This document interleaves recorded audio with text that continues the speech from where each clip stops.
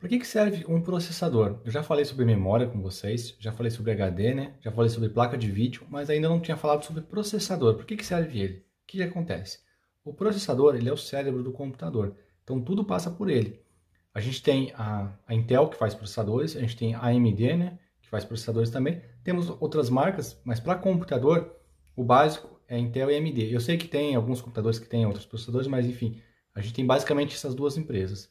Eu quero trazer essa semana para vocês explicações sobre o processador, né?